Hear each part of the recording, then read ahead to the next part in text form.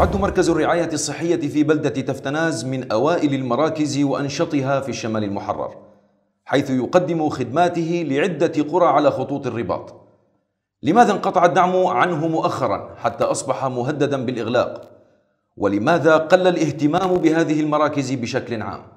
كل هذا وأكثر نناقشه مع ضيفنا في الأستوديو الدكتور محمد مسدد مدير مديرية الرعاية الأولية. حياك الله دكتور. حياك الله أستاذ صالح أكرمك حيا الله الله راديو الثورة على هذه الاستضافة. وحيا الله المشاهدين الكرام. دكتور بداية آه، نتحدث بشكل عام عن المراكز الصحية في الشمال المحرر مراكز الرعاية الصحية بالعموم. ما هي آه، الخدمات التي تقدمها هذه المراكز؟ وما هو محور عملها بشكل عام في الشمال المحرر؟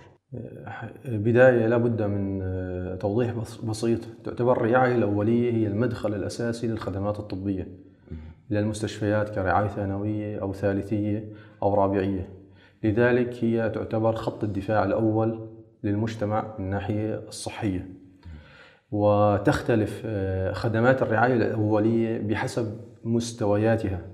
فهناك مراكز رعاية أولية مستوى ثاني ومستوى ثالث ومستوى رابع وخدمات رعاية أولية شاملة. ولكن نحن في مناطقنا أغلب المراكز الرعاية الأولية فهي بين المستوى الثاني والمستوى الرعاية الأولية الثالثية. فكما ذكرت لك تختلف الخدمات بناء على المستوى. فهناك عن لدينا آه، مراكز تقدم فقط الخدمات الإسعافية. وهذه المراكز أو النقاط الطبية أكثر انتشارها هي المناطق القريبة من خط التماس. وباقي ال- أو النسبة العظمى من المراكز الرعاية الصحية الأولية تكون هي الرعاية الثالثية. وتقتصر أو ممكن أن نختصر خدماتها خدماتها في آه، آه، خدمات آه، خدمات العيادة العامة خدمات عيادة الأطفال خدمات المخبر الصيدلية المجانية. تمام دكتور. حديثنا الآن في حلقتنا عن آه، نقطة آه، رعاية صحية موجودة في منطقة خط رباط. تمام؟ والتي هي مركز الرعاية الصحية في آه، مدينة تفتناز أو بلدة تفتناز. هذا المركز كان من أوائل المراكز التي أنشئت في في الشمال المحرر عموما. كانت له آه، دعم كبير وله أيضا كثير من الخدمات التي قدمها للقرى المجاورة أيضا وليس فقط لتفتناز. الآن المركز مهدد بالإغلاق. ما هو سبب ذلك الأمر؟ بداية لابد من توضيح أكبر أو أكثر آه، سابقا آه، كانت المساحة الجغرافية للمناطق المحررة أكبر فكانت تنتشر المراكز بشكل أكبر والدعم أكبر وعندما تضاءلت مساحة المناطق المحررة عزفت المنظمات على عن المناطق القريبة من خطوط الرباط كجبل الزاوية والغاب وريف جسر الشغور ومنها الريف حلب الغربي وريف إدلب الشرقي كتفتناز وغيرها. إيه، الفترة التي كان فيها المركز تفتناس مزدهر كانت هي في فترة إيه، اتساع المناطق المحررة. تأثر الدعم على مركز تفتناز من خلال المنظمات أو توقف الدعم المنظمات عن مركز تفتناز بعد تقلص آه، مساحة المناطق المحررة وأصبحت تفتناز هي تعتبر خط رباط. آه، تعزف المنظمات عن مثل هذه المناطق بحجة أنه هذه منطقة خطر منطقة خط نار. طيب دكتور معناها هاي المراكز حاليا تحت آه، آه، مسؤوليتكم أنتم. تمام. فقامت وزارة الصحة وبذلت آه، الكثير من الجهود بتغطية مثل هذه المراكز. فتم افتتاح ثلاث مراكز ودعم ثلاث مراكز بداية في جبل الزاوية مثل مركز مرأيان ومركز معراتة سابقا ومركز بزابور. ثم وسعت وزارة الصحة آه، هذه الدائرة. زادت عدد المراكز في جبل الزاوية فوصلت إلى خمسة مراكز. آه، دعمت وزارة الصحة ومركز تفتناز بعد ما آه، تقريبا توقف عنه الدعم أكثر من سنة ونصف. أكثر من سنتين. أكثر أكثر من سنتين. توقف الدعم. دكتور دكتور معلش من ناحية توقف الدعم عن هذا المركز.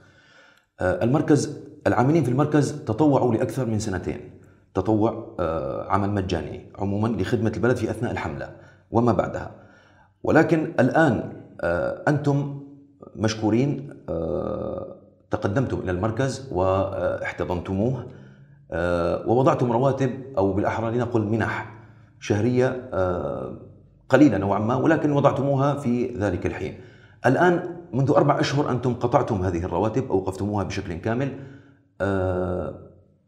آه، يعني الكلام صار له أربعة أشهر. فيعني الآن المركز مهدد بالإغلاق تماما. السبب؟ إيه، بداية كمان لابد من توضيح.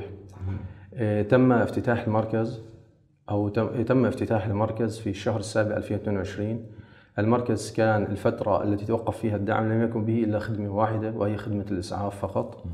وكان يوجد كادر صغير مشكورين تقبل الله منهم ثباتهم. في المنطقة وعونهم للأهالي أثناء الحاجة.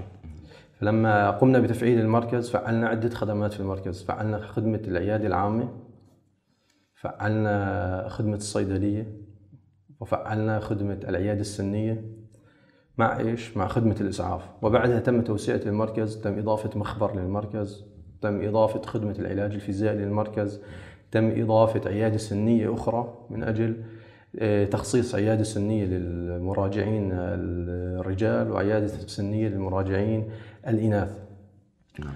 آه، فيما يخص الموضوع ذكرت حضرتك إنه موضوع المنح والرواتب الأصل هو نحن عندما فتحنا افتتحنا المركز الأصل فيه كان هو نحن بدأنا بمشروع بديل في لوزارة الصحة، نحن الآن واقعنا الذي الفئة الكبيرة التي تقوم أو يقوم على عاتقها دعم الخدمات الطبية المنظمات. موضوع المنظمات الإنسانية هي موضوع مؤقت، يعني في أي لحظة في أي ممكن يزول هذا الدعم. وتصبح هذه المراكز المنتشرة التي تقدم الخدمات بشكل مجاني تمام؟ هي هي متوقفة بشكل كامل ولن تجد إيش؟ خدمات آه، أصلا طبية أو صحية دكتور هذا هذا المركز فكان تحت عاتقكم هذا المركز الآن هو مركز آه، عند نقطة رباط آه، يعني يخدم أربع قرى والقرى الأربعة التي يخدمها هذا المركز هي على نقاط رباط يعني هناك آه. هناك ممكن إصابات هناك ممكن قصف ممكن كذا فهذا المركز يجب ان أن يبقى أن يبقى التفاعل فيه موجود يعني أن يبقى ذلك المركز مدعوم من قبلكم وخاصة هذه المراكز يعني هناك مراكز أخرى. معلش دكتور أنت تقول أنكم وضعتم في آه، افتتحتم في جبل الزاوية عدة مراكز. الآن عندك مركز بزابور آه، ومركز أوريم الجوز ومركز بليون الآن أيضا مهدد بالتوقف الآن. أخي الكريم آه، بما يخص مركز تفتناز مركز تفتناز كان لوزارة الصحة رؤية جديدة. هي إيجاد نظام صحي بديل عن النظام الصحي المجاني الكامل. وهذا النظام هو عبارة عن نظام يتحمل أعباءه الجهات الثلاثة الجهة الحكومية والكادر الطبي تمام؟ ومن والمستفيد. فتقسم عبء الخدمة على الثلاثة هذه الجهات الموجودة ضمن المجتمع. وانطلقنا على هذا الأساس في مركز تفتناز فيعتبر أصلا بالأصل آه، دوام الكوادر هو دوام انه تعتبر كوادر تطوعية تقوم الوزارة بتأمين مكافآت ومنح وحوافز لهؤلاء طيب هذا هل هذا يكفي؟ هل هذا يكفي؟ لهؤلاء لهذه المرحلة نحن الآن أنت تتكلم ب... نحن انت أي مشروع هو عبارة إيش؟ مشروع يحتاج إلى مراحل يعني أنت لا يمكن أن تبدأ مشروع وتنجزه بمرحلة واحدة نحن مركز تفتنز هو عبارة عن عدة مراحل فالمرحلة الأولى وهو يعتبر صراحة هو التجربة التي سينبثق منها تمام هذا النموذج الجديد فيما يخص إيش؟ القطاع أو القطاع الطبي تمام الذي يقدم الخدمات الخيرية بأسعار يعني رمزية وخدمات مجانية. إيه، ففيما يخص مركز تفتنس إنه سينقطع عنه الدعم أو سيغلق المركز فهو لن يغلق المركز والمركز مستمر. إذا لم تكن رواتب سيغلق. والمركز مستمر والخير كبير في كوادرنا. وبالنسبة لوزارة الصحة هي ما زالت تعمل تمام على موضوع زيادة نسبة هذه الحوافز والمكافآت لدعم وتثبيت الكوادر العاملة ضمن المركز تفتناس وغيره من المراكز.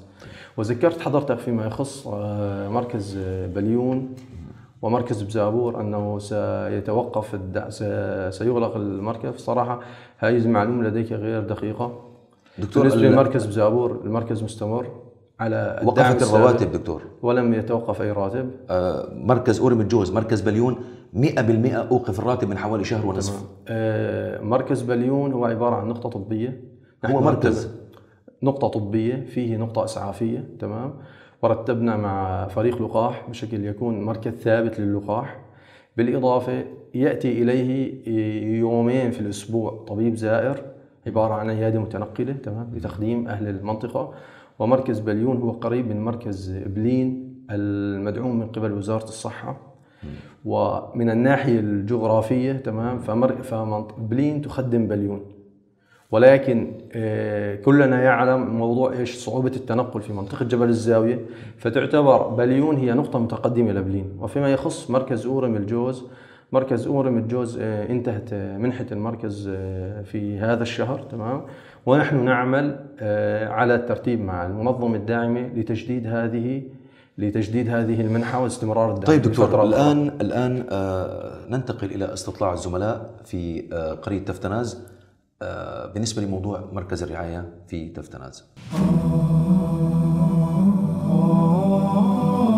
المركز آه، يعني بيقدم خدمات كثيرة لأهل البلد.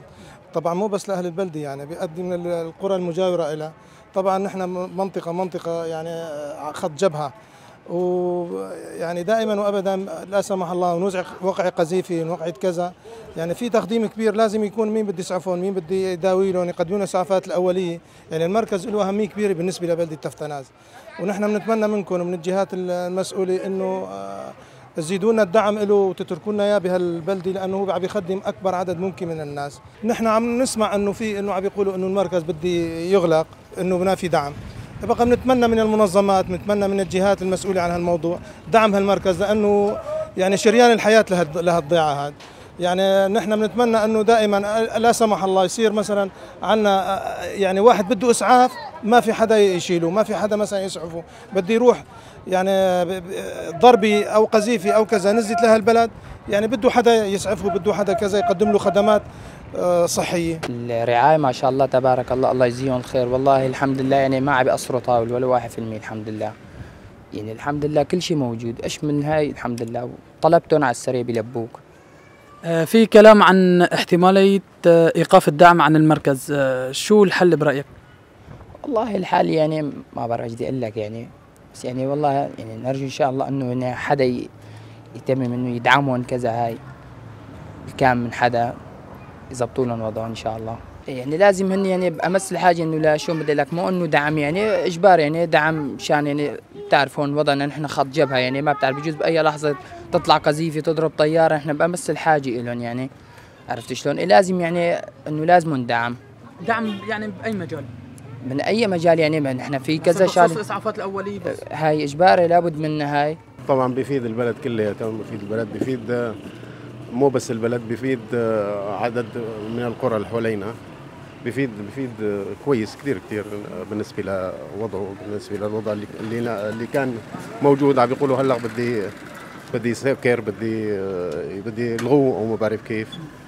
يبغى هذا هاي الإفادة للمنطقة كلياتها. إيه والله يعني بالنسبة للدعم لازم لازم يكون في دعم. ولازم الناس تساهم وتتبرع وإذا كان في مجال من الحكومة من غيرها من غيرها منين ما كان يجينا دعم. طبعا لازم لازم الحكومة تقدم لأنه إحنا المنطقة المنطقة هون معرضة للقصف ومنطقه منطقه مواجهة. هذا هو لازم يكون لازم الحكومة تدعمنا. بالنسبة لمركز تفتناز آه، مركز تفتناز بيقدم رعاية لمدينة تفتناز وما حولها والمدينة فيها 30 ألف نسمة ولازم أخي يكون في عنا دعم آه، لمراكز الرعاية. هلا نحن إذا سكر آه، مركز الرعاية يعني آه، عنا عبء كثير إذا واحد اتصاب هون على خط الجبهة أو كذا أو شيء أو شيء يعني بده يطلع على مشفى بالنيش. العالم ما مع تأكل بالمؤاخذة لحتى تطلع على غير منطقة. آه، شو لازم تقدم الحكومة بخصوص آه، المركز؟ لازم تدعم الحكومة المركز بما إنه بيعطوا الدواء مجاني هون والإسعافات كلها مجانية. هون نحن أول شيء خط جبهة. آه، إذا شالوا الرعاية من تفتناز بدنا نرقد على بنش شالوا دفاع المدني شالوا سيارات الإسعاف. هون آليات ما عنا. حق خبز ما عنا لحتى ناخذ ابننا على المستشفى على بنيش. ليش بدك تشيلوه؟ حرام عليكم. هذا المستشفى أضر من الأكل والشرب. يا أخي لا تجيبوا لنا لا أكل ولا شرب ولا مساعدات. اتركوا المستشفى في تفتناز ما المستشفى؟ المركز المركز الصحي في تفتناز اتركوه. ما بنستغني عنه. إذا طفل انجرح بدنا نروح على بنيش بدنا نروح على أدلب. هذا الحكي مرفوض؟ لا خليته سيارة إسعاف لا خليته دفاع لا خليته شيء. نحن خط النار بيننا وبين الجيش. خمسة كيلومتر. ما بيصير لازم يتم عنا هون موجود اللي انجرح طفل انجرح ولد المرة كبيرة بدنا نروح على المستوصف. ما ما نوقع عبنش وعادليب لبين ما نروح عادليب بيكون مات الجريح. يا حجي إذا مفكرين عنا دعم هذا عنا دعم للأطفال وللناس اللي عم تولد بس أما للجرحى المستوصف لازم يتم شغال. ما بدنا نروح مع الآلات لك حق بنزين مازوت ما معنا نروح عبنش ناخذ ابننا. والله أهميته كبيرة كثير إحنا مو بس لأهل البلد يعني حتى في عندك قرى مجاورة مثل كتيام مثل معارة مثل شلحة بيخدم أكثر من ضيعة. يعني بدك تحكي بال 40 ألف نسمي. وبتعرف أنت منطقتي يعني آه، مثل يقولوا خط تماس مع آه، العدو. يعني أي قذيفة أي شغلة اجباري بدي جوا مركز التنظيف الصحي. حاليا ثلاث شهور من الأربع شهور ما عم نتقاضى نحن رواتب. عم نشتغل آه، مثل ما بيقولوا يعني شيء رمزي للشعب هذا بس شيء نمشي أمورنا. كان يجينا أدوات يعني تمشي لنا المركز. حاليا صار في ضعف كثير في الإمكانيات. ونحن بالأخير ما بدنا نحن نكلف الشعب أكثر من طاقته. يعني شايف أنت على الظروف اللي عم فيها. إيه من الناشد يعني مين أهل الخير؟ من ناشد الوزارة من ناشد جميع مدير مدير الصحة إنه يسعونا في الأمر هذا. يعني أقل شيء رواتب رمزية يعني نمشي حالنا فيها نحن. يعني أقل شيء تقدم مواد طبية نحن مشان ما نشتريها مشترى نحن عم نشتري له مواد طبية مشترى يعني. عم نزيد على الشعب يعني المصروف الدواء. الإبري حتى الإبري عم تكلفنا يعني عم تكلفنا مصرات يعني. ورواتب للشباب نحن كلتنا سبعه من موظفين يعني. ما إنه المبلغ الكبير يعني. يعني الحمد لله يعني 2000 دولار أو 1000 دولار يعني بيمشي حال المركز يعني. ما هو المبلغ المشفى الكبير يعني. طبعا هو له أهمية كبيرة وخاصة الفقراء من الناس. يدعم الناس كلها والفقير بحاجة للمركز الصحي أكثر من غيره. مشان الدواء ومشان كذا وشغلات. ضروري يعني يكون في مركز صحي وفي دواء إن شاء الله. والله الحكومة إن شاء الله ما بتقصر وبتقدم اللي بوسعها إن شاء الله وزيادة. إن شاء الله ما بيقصروا. مثل إيش مثلا بيقدم دعم؟ أدوية بيقدم أدوية للناس بيقدم آه، الأشياء الأولية بيقدم مصاري مادة يعني كمان. بيقدم دعم مادي كويس للمشفى. بيجيب أدوية للناس وبيدعم الناس وخاصة الفقراء والذين هم بحاجة لهذه الأدوية.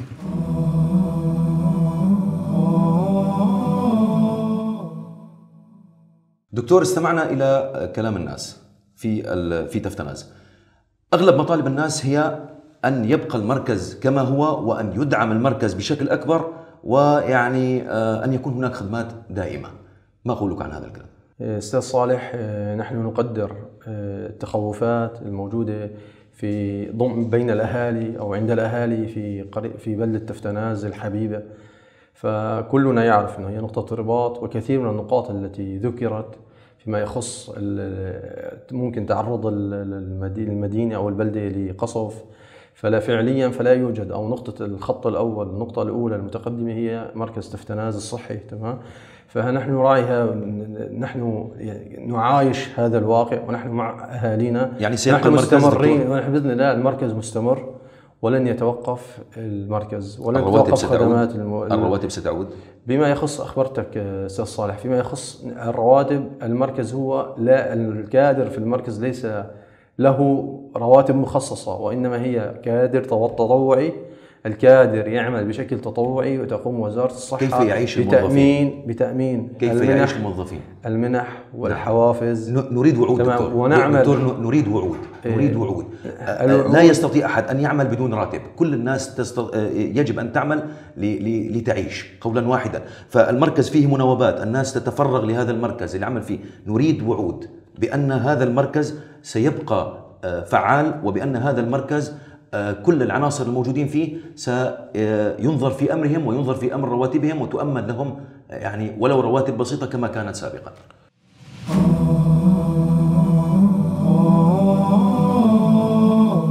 أستاذ صالح المنح لم تتوقف للكادر؟ توقفت منذ أربع شهور. لم تتوقف يعني المعلومة ليست دقيقة.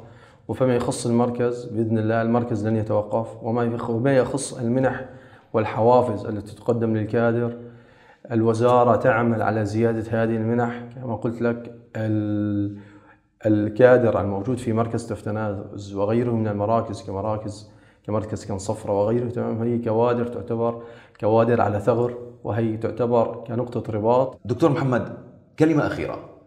ما هو الذي ما هي ما هو الكلام الذي تريد قوله بالمجمل بالنسبة لمركز تفتناز الصحي؟ الكلمة الأخيرة هي طمعا للأهالي وطمعا لكوادرنا. العمل مستمر في المركز والوزارة تعمل على حلول بديلة ورفع من سوية الخدمات المقدمة في المركز والرفع من الدعم المقدم للكوادر للاستمرارية والثبات. نسأل الله عز وجل يعيننا ويعين القائمين على المصالح والخدمات العامة في المناطق المحررة على تقديمها على أمثل وجه. نشكرك جزيل الشكر دكتور ونتمنى أن نلقاك في حلقات قادمة بجلسة بجلسة شكر آه، مقدمة من أهل تفتناز في الحلقات القادمة ويكون الوضع قد أصبح أفضل وإن شاء الله. تعالى. مشكور أستاذ صالح. حياك الله. وفي نهاية الحلقة لا يسعنا إلا أن نشكر الدكتور محمد مسدد آه، مدير مديرية آه، الرعاية الصحية.